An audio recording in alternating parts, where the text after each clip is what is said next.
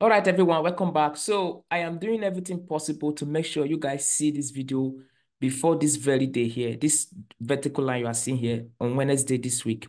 Now, if you are seeing this video after Wednesday this week, don't worry, you are still going to benefit from the information I'm going to share with you guys here. Now, why did I mark out this Wednesday this week? All right, let's go to forexfactory.com and I'm going to show you guys something. All right. Now, this is Forex Factory where we check our economic data and all that, okay? So this week, take a look at what we have on Wednesday. You see, we have core CPI and CPI news. Of course, this is my local time right here, 1.30 p.m. It may be different from your, depending on your location, right? Now, I want to teach you guys something that no one else have shown you in the past, okay? Let's click on any of these CPI news. You can either click on core CPI or CPI, but I just want to click on any of them because what I just need is the date, not the news actually. Now, I want to go back to the previous CPI day that we had last month, which is April April. This was the last CPI day, right? It was April 10.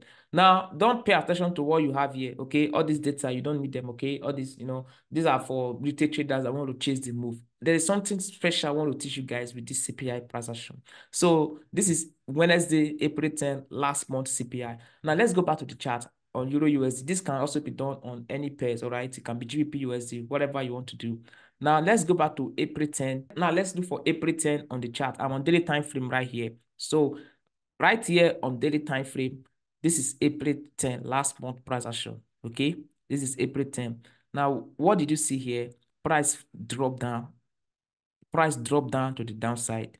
Now, before this price dropping to the downside, what do we have in price action initially? Okay, we had this move, consolidation move to the upside. Then they waited for CPI day to drop this market to the downside. Okay, if I go back to another CPI day, for example, let's say March 12th, okay, that's that is the previous CPI before April. Now, March 12th CPI, now the previous CPI was March 12th, okay? I've told you don't pay attention to this data here. So what we just need is go back to the chart. Let's look for March 12th, okay?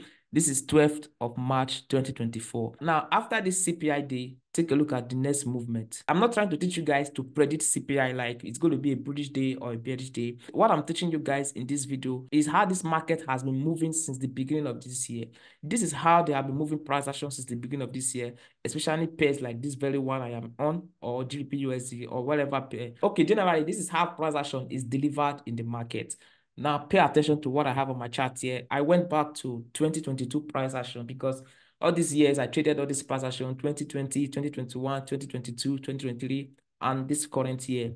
Now, if you take a look at what I have on my chart, you will see this is how price action delivered, okay? They move from internal range to external range like this. Then they, they move to internal range again, like in form of consolidation.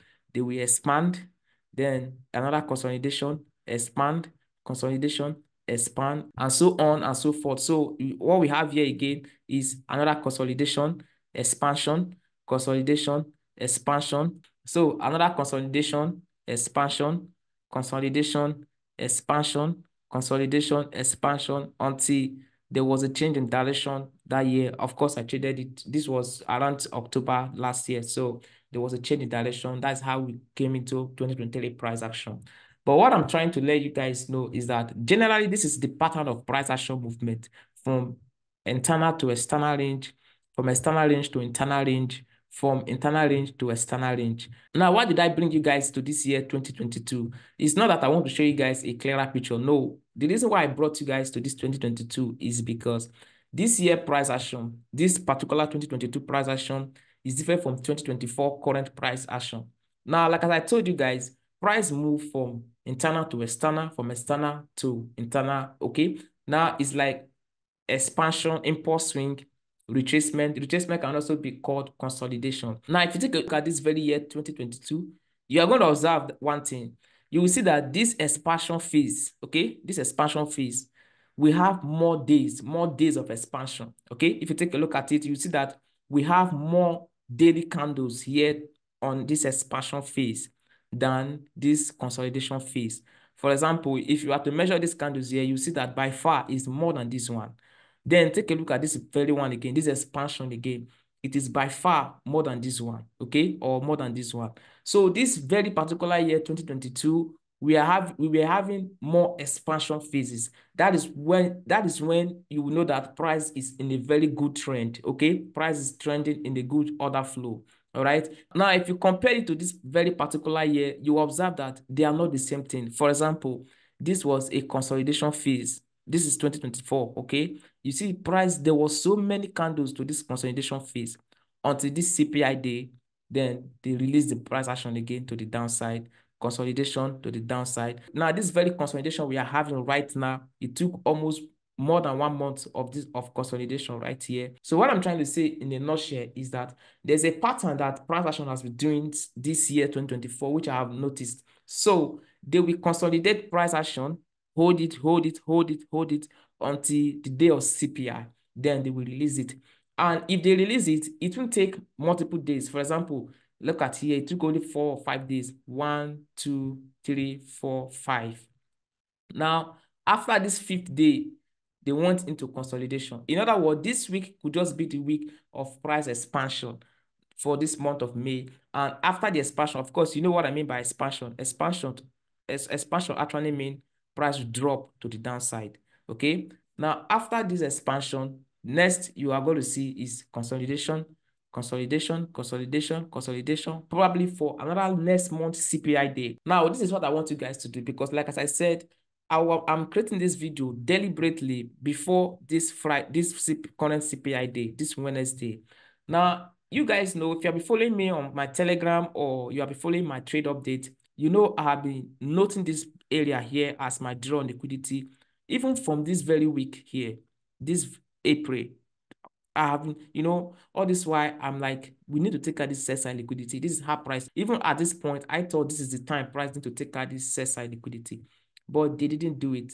They head on to this price, like, come on, up to this very day and this very big price, up, up to this very weak price action. I'm very sure price is going to expand to the downside this week price action.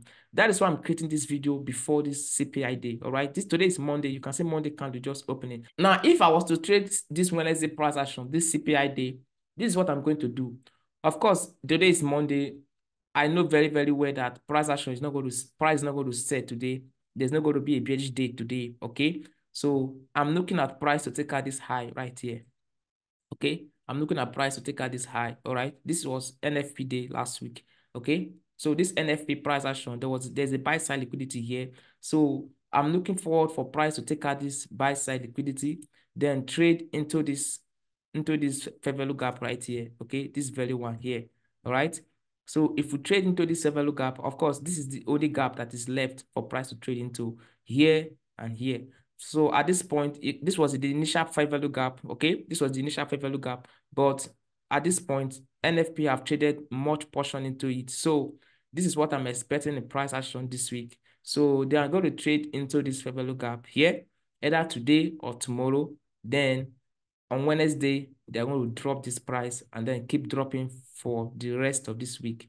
Then if today or tomorrow eventually end up being a bearish day, then it's going to be very, very much good price action for us. That actually means is that if you have if you have this candle close below this value one or tomorrow candle close below this value one, then it will be easier for us to trade CPI that day because we know at this point there's already a smart money reversal in the market. So we're already bearish for the rest of the week.